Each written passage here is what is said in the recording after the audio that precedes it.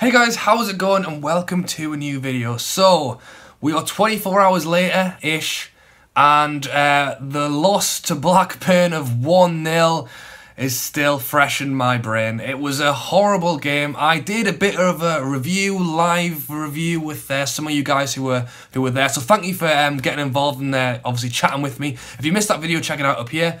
I watched the last few minutes of the game and then chatted about basically the loss. So, we had what 25 shots on uh, 25 shots, eight on target, and they had one shot on target. That was the goal they scored. So it wasn't really the way I wanted it to go. Um, disappointing. It just just things weren't going our way. It was one of them games. We scored tw we scored twice. One was given offside, which to be fair was was offside, and the other one was handball from Clark, where he kind of nudged it with his hand. Not 100% sure how much he meant it, but I mean, it did hit his hand, uh, so I don't know, that one's a tough one. I'd be disappointed if it got given against us, but it was slightly harsh to give it against him. so yeah, what, what are you going to do? So yes, things aren't looking particularly great, and as you probably guessed from the title of this video, the African Cup of Nations is starting, and we are losing three players. Uh, two players who didn't get invited to the African Cup of Nations are Tiote, who doesn't really play anyway, so it wouldn't have mattered if he did, and Lazaar, who was um, ruled not fit enough by Morocco, which is why he hasn't gone. So he could be someone we could use um, in the next month when the other players are gone. Um, but he wasn't a first team starter, so it's not a huge one. So of the three, Mbemba is the first one.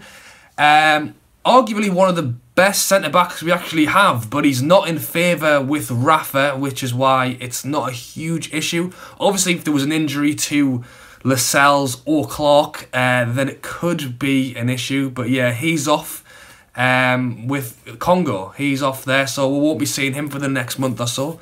The two that I think um, are going to bother us the most is Diame and Atsu. Yes, they will not be free for the Birmingham match this Friday, and then they won't be free for Brentford away, Rotherham at home, and we are playing Brighton on the 28th of January, and the group stages of um, the African Cup of Nations ends on the 25th of January. So, if um, Senegal or Ghana, Diame, Atsu, if they are knocked out of the group stages, then they could potentially be there for the Brighton game.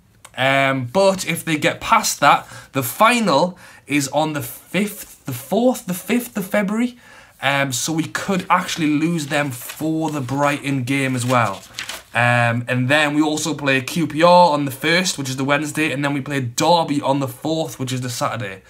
So, for the sake of Newcastle, hopefully um, Senegal and Ghana get knocked out of the group stages. But in all seriousness, for the sake of them, I hope they actually go on and do really well in their um, African Cup of Nations. Obviously, for us, uh, best case scenario, they miss three games, including an FA Cup game. Worst case scenario is they miss six or seven games, which is including Brighton away, which would not be good because um, well, we'll start off with Atsu. Uh, I think he's done very well. I think he's quite a direct player, which is what we definitely need, especially when we're losing against uh, Blackburn 1-0. I mean, Gouffran has played well this season. I will give him that.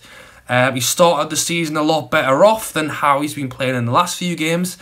If it was me, I'd be moving on to probably playing Atsu ahead of him. Um, let me know what you guys think of that down below. I think Atsu was just, oh, he's come on as sub a lot, and it's not easy to obviously show what you can do when you haven't got long on the pitch.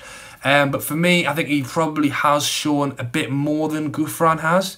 Um, so I will be playing him more often, which is why it's annoying that as soon as he starts to come good, um, he goes off for a month and possibly even longer. So Let's hope Gouffran can um, start playing like he did at the start of the season and maybe we won't miss Atsu too much, but that remains to be seen. Let's be honest, the one I think we're really going to miss is Diame. He has he has played very well at times and then at times he has made a few mistakes, but overall I think he has been very good for the club in comparison to Perez, who unfortunately for me I don't think has played very well this season. I don't know if it's the position he's in or if he's just not being as good or if he's not up for the championship. I, I don't know. Um, I think um, when he had his good spell for us, he was around players who maybe saw him as like the lead to get the goals and now that Gayle's doing that maybe Perez doesn't prefer the in behind I'm not really sure but for me Diame has been very good and I think we're going to miss him. One thing as well to mention is that Shelvey's ban ends just in time for the Brighton game so um, at least we won't be without Diame, Atsu and Shelvey for the Brighton game. So Shelvey will be back for that but if we could have Diame back as well uh, that would be very, very helpful. Without Diame, I imagine we probably will stick with Perez. Um, the thing is, it's just all come at the wrong time. Shelvey's banned, Diame's on on his way out, um, and Atsu. So we're left with almost like, not a second string team, but there's some, basically Diame and Shelvey were pretty much two of the key players who won't be here anymore. Obviously, the transfer window is now open and we have the avail avail availability to loan or transfer players in. I said a little bit in my live review that I'm very keen to get some loan deals on the go. Um, I'll be updating you on this channel with everyone we do bring in. Um, I think loan deals are the way forward. But yes, guys, I will leave it there. Uh, the main point is that we will be missing Atsu, Diame and Mbemba for the next three games minimum. Let me know what you think and if that's going to affect us that much. Do we need to bring in some new players ASAP or can we last the next few games without Shelvey, Diame and so on? Let me know in the comments below. I hope you've enjoyed the video. Leave a like if you have and subscribe if you are new.